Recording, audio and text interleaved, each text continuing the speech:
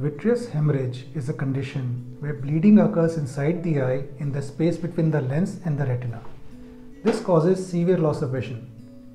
Most common cause is diabetic retinopathy and its complications. It can also occur in cases of vein occlusion, in patients with high blood pressure, retinal tear or detachment, injury to the eye, etc. The treatment is aimed at finding the underlying cause and treating them. The treatment may involve giving intravitreal injection of anti-VEGF agents like Eylea, Accentrix or Razumab. In patients where the blood does not absorb on its own, vitrectomy surgery may be required. With advancement of vitrectomy surgery techniques and better equipments, the results have improved significantly. The surgery has become faster and more reliable and is sutureless. Retinal laser may be required during the surgery and after the surgery.